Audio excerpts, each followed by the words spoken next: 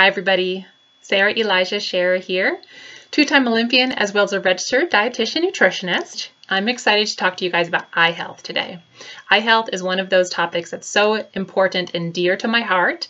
When I was competing in the Olympic Games and in my Olympic sport, it was so important for me to keep my eyes in tip-top shape. And so I want to share with you guys today my top tips. First thing is to get plenty, plenty of sleep seven to eight hours if possible.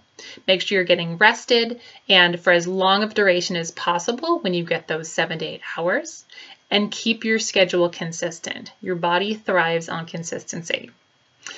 The second tip is to get hydrated. Start fresh and early in the morning, drink a glass of water, and continue to drink that water as well as getting nutrients in your water too, like adding those electrolytes into your water.